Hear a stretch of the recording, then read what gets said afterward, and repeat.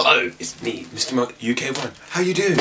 Today I have a special unboxing of this new um, gaming headset. Um, I don't know what it's about. I just got it today. So, so yeah, let's unbox it. So there's, there's the headset.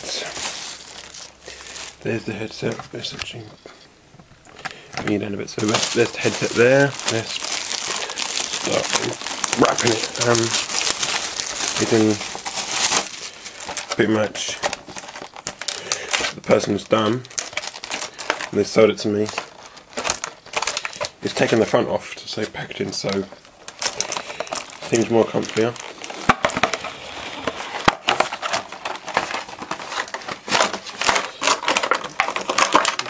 So pretty much on end it's gold plated so it's really really good you've got like the swivel on a button. Here you've got the mic. You get the mic just there. Got some clippy things, they seem pretty pretty comfy. Some clothy stuff.